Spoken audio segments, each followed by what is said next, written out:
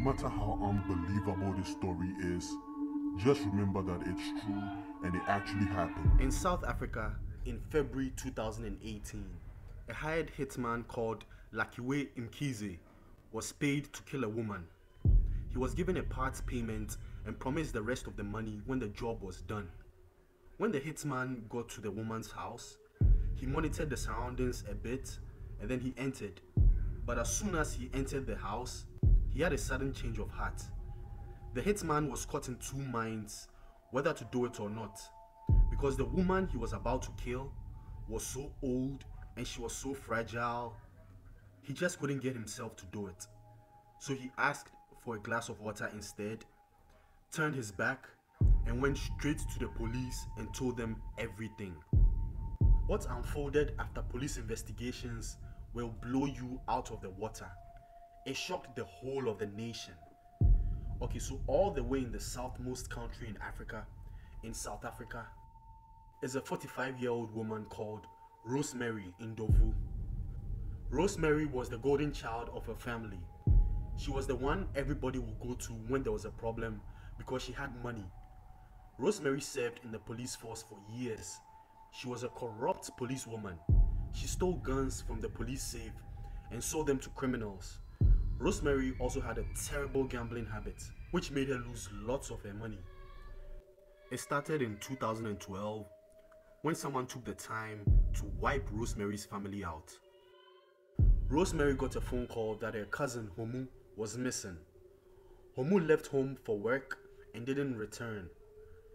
Rosemary spearheaded a search from police station to police station looking for her cousin Homu.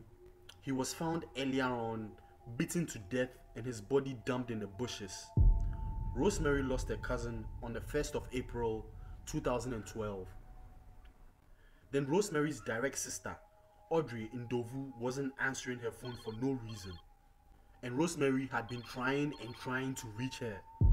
Audrey's room was locked, so her neighbors broke into it and found Audrey strangled to death.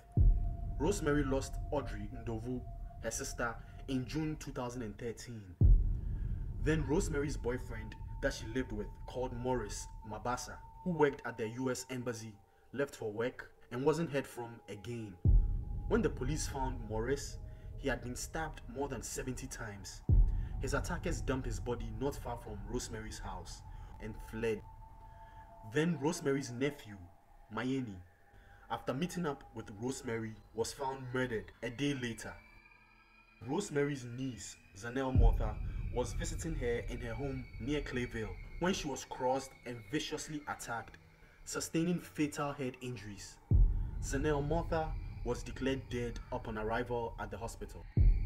At this point, Rosemary has lost four loved ones to senseless killings already. Then Rosemary's nephew, Brilliant Mashego, met with Rosemary to ask her for some money. They met at Bushbuckridge, an area in South Africa.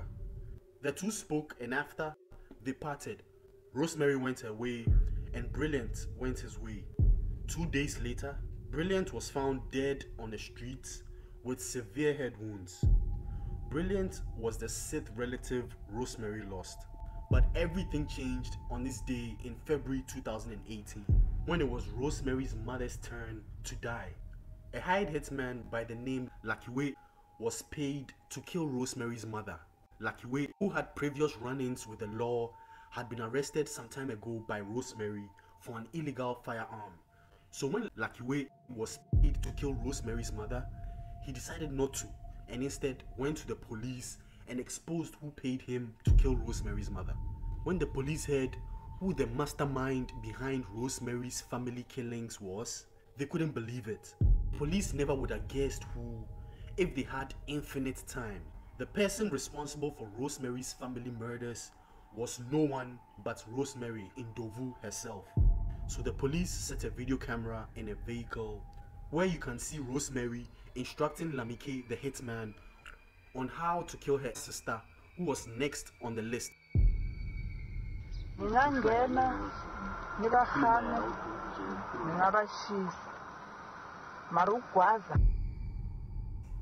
In the police recording, you can hear Rosemary instructing the hitman to burn her sister and her five children alive in their house so that she could cash in on insurance policies she had made in her sister's name.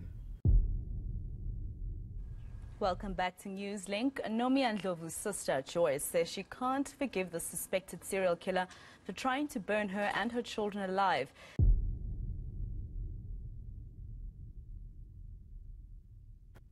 Rosemary insured her relatives with different expensive life insurance policies without them even knowing. Then she hired hitmen to kill them so she could cash in from the insurance policies. This was good business for Rosemary. For her cousin Homu, she received around 7,000 US dollars from two different insurance companies. She gave Homu's mother $825 to mourn his son and pocketed the rest. For her sister Audrey, that Rosemary drugged and strangled herself, she made around 40,000 US dollars.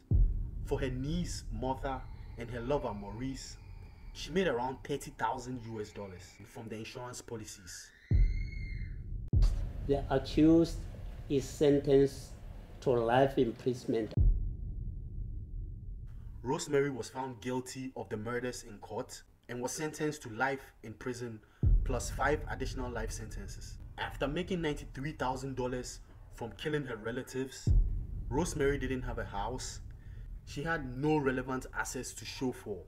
She had squandered the money in casinos, at least a silver lining.